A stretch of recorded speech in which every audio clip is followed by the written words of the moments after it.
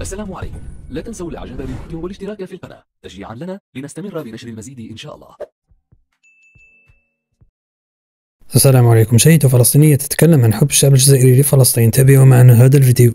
مرحبا بنسمع الشعب الجزائري دايما بيقول افتحوا لنا الحدود باش نحرر الأقصى. شو معناها؟ معناها يا ريت حدودنا مع فلسطين. كان زمان حررناها. لربما هيدي الأمنية من أكثر الأمنيات الخيالية يلي بيطلبها شعب دمه حامي مثل الشعب الجزائري. بس شو معناها مع الشعب الفلسطيني خصوصا؟ وليش كل تركيز الشعب الجزائري بيجي دايما مع الشعب الفلسطيني؟ بعيدا عن البعد الديني والوطني والعربي ولأنه العلاقة بين الشعبين لها خصوصية رهيبة. وهي الخصوصية لازم ننطلق منها حتى نستوعب شو يلي بيجمع الفلسطيني الفلسطيني مع الجزائري. سمعتوا عن شيء اسمه المحتشدات؟ أنا رح اخبركم زمان لما كانت الجزائر تحت الاحتلال الفرنسي تعرضوا لأبشع أنواع الإبادة بصورها الحديثة والقديمة واختلفت صور الموت بالجزائر. حتى بفترة من الفترات صارت الجزائر عبارة عن مختبر عسكري نفسي وهي على فكرة سياسة مقننة متمثلة بإقصاء اجتماعي وبيئة صحية سيئة وارتفاع نسبة الوفيات وفقر وجوع. وهي أيضا سياسة نفذت بحسب كل المراجع والأدبيات بمطلع الثورة الجزائرية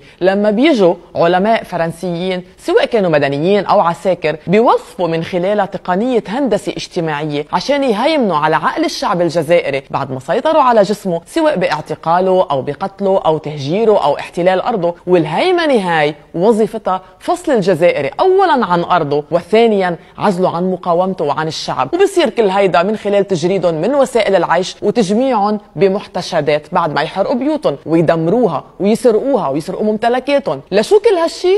عشان يدمروا المجتمع يلي هو الحاضنة الشعبية للمقاومة والبنية التحتية للصمود. وطبعا هيدا كله مستورد من تجربة أمريكا بعهد المارشال كلوزال. تماما بالضبط نفس ما أنت عم بتفكر. عم بعيش الفلسطيني اليوم بأرضه المحتلة عموما وقطاع غزة خصوصا نفس التجربة الاستعمارية يلي عاشها الجزائري لكن بصورة أشد فظاعة وأكثر سطوة. وطبعا طبعا هون ما عم قارن معاناة بمعاناة. بس بقلكن قديش الاحتلال والاستعمار عم يتبادلوا الأدوات بينهم وبين بعض وبيعملوا إسقاطات استعمارية عشان يسيطروا على المجتمع نفسيا واجتماعيا وهيدا فعليا يلي عم بيصير حاليا بهيدي الحرب على غزة. نفس تجربة الجزائر تماما ويلي هي بلشت من اتفاقية أوسلو. الفلسطيني يلي عايش بالداخل المحتل عم بيعيش محتشدات لحاله وعم يدرس تاريخ إسرائيل وبيحاولوا يشوهوا ذاكرته الجماعية وارتباطه بالأرض وكمان عم يعزلوا ابن الضفة والقدس عن بقية الفلسطينيين. وهي غزة من 17 سنة سنة عم بتعيش داخل مختبر نفسي واجتماعي. تسعى إسرائيل تركز السكان الفلسطينيين بمحتشدات مكتظة ومنعزلة عن بعض البعض وبتخلي سرقة وسلب الأرض أسهل بدون مقاومة وفعل.